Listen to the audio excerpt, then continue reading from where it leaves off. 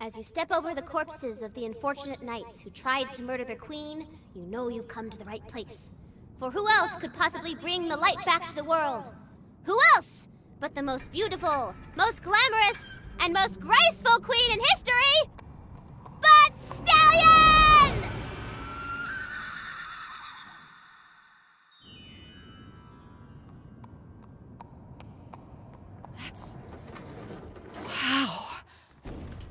I don't know why I'm surprised. She is beautiful. With the queen safe, she can finally cast her magic spell and bring light back to the world. She's gonna need some iridium to charge her spell. Better feed her some.